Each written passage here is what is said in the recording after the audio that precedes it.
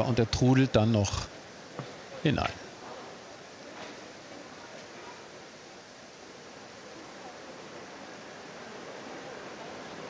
Mhm.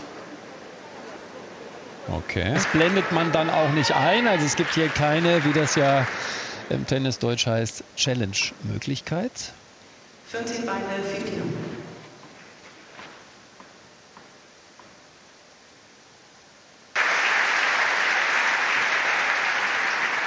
Fierce 14 13.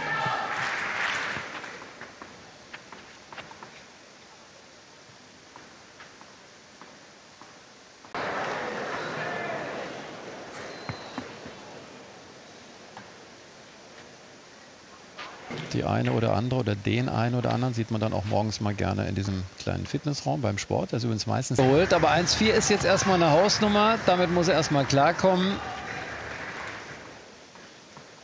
Görges, deren Saison ja exzellent begann mit dem Turniersieg in Auckland, wo sie ihren Titel erfolgreich verteidigte.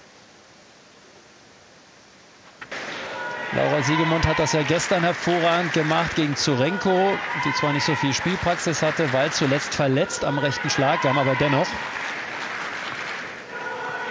So, es gibt neue Bälle, heißt für Julia Görges gleichzeitig einen neuen Schläger. Seit Cincinnati im vergangenen Jahr macht sie das ja ein bisschen anders. Beseitungshärte ist etwa gleich für die Experten. 27. Ja, gerade vom Ergebnis her. Spannende Partie.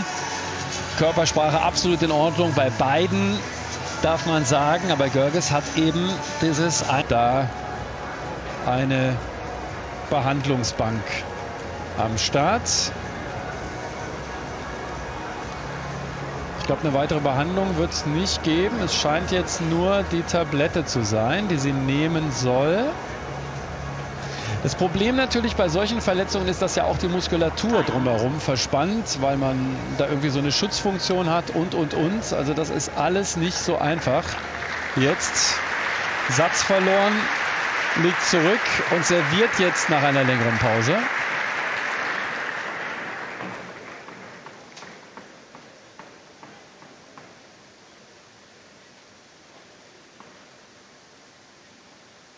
zu spielen. Da sehen wir es. Dreht sich raus, ist zu eng. Gute Chance vergeben.